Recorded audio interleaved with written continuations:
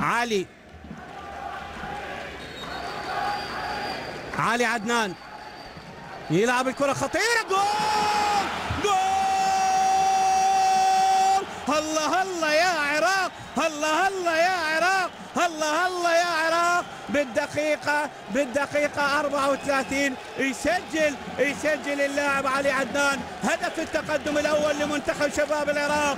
حلوين يا شباب حلوين يا شباب. الله الله يا عراق الله هدف التقدم الأول بالدقيقة 34 من ركلة حرة يسجل علي عدنان ويسجل ثاني أهدافه في البطولة بعد أن سجل في شباك إنجلترا يلعب كرة مقشرة لولبية إلى داخل الشباك ويقدم أجمل هدية لكل من يتابع هذا اللقاء. وروح عين روح روح روح يا حكيم.